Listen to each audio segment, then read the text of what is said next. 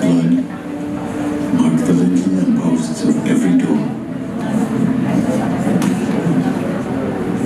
For tonight, I shall pass through the land of Egypt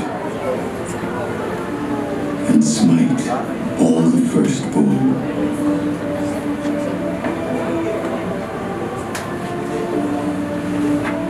But when I see the blood upon